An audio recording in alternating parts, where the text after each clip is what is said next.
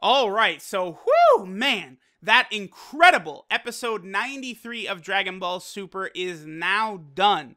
And now we're going to be moving on to episode 94 of Dragon Ball Super. I thought uh 93 might have been if not the best episode, certainly in the top 5 of Dragon Ball Super.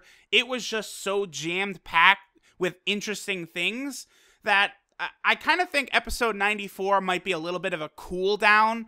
I, I can't imagine we'd get an episode on that level again. There was just too many things working for it. Uh, seeing Kale transform for the first time, you know, Goku and Frieza's reunion, so to say. So I, am not expecting super high things from this episode. Um, based on what we're seeing, uh, Frieza will be brought back in this episode to the land of the living. It looks like we see Frieza being resurrected at uh, Baba's palace here.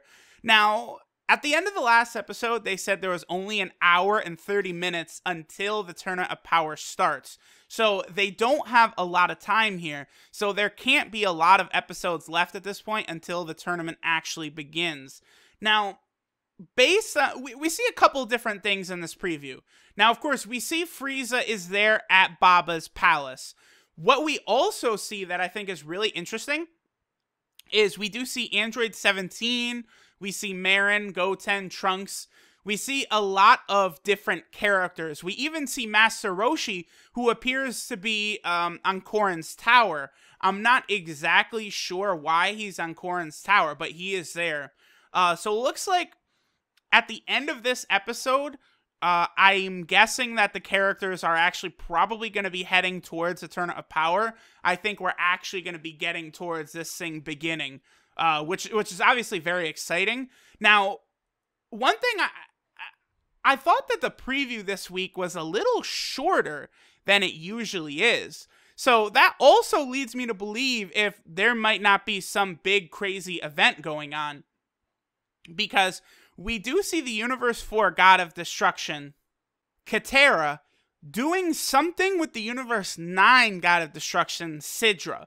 Now, we did see some spoilers indicating that Sidra had beef with Beerus in Universe 7 and would be trying to do something about Frieza. Now, at the end of episode 93, we saw Quitela saying he had come up with the perfect plan to ensure Beerus's erase, you know, erasure and Universe 7 being destroyed. So it looks like Quitela is the one who is going to get Sidra involved and sic him on Frieza.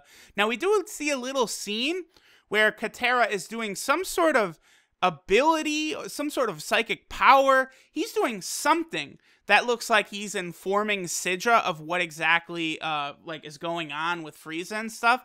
And I thought that was really interesting. So it looks like next episode we're probably going to have Frieza fighting against assassins who are sent to Universe 7 to take him down.